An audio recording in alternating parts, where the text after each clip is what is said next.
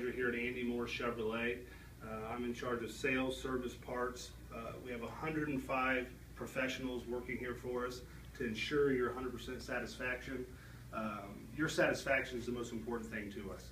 Uh, we strive to have the best CSI and SSI scores, sales and service.